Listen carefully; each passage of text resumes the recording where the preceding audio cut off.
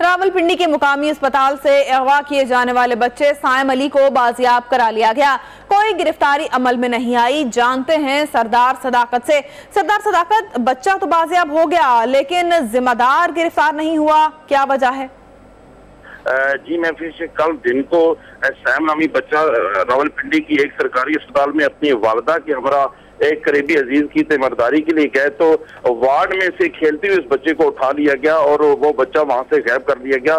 तो हम रात गए इसका थाना आरे बाज़ार में एफ़ आई आर दर्ज हुई और आज अलल सुबह पुलिस आरे बाज़ार और वेस्टर्ज ने मिलकर, वेस्टर्ज में एक लाइन नंबर सेवन है, उसके घर से बच्चे को बाजियाब कराया। तो हम अगवा कार जो वो भाग जाने में कामयाब हो गए हैं, जी। शुक्रिया सरदार सदाकत।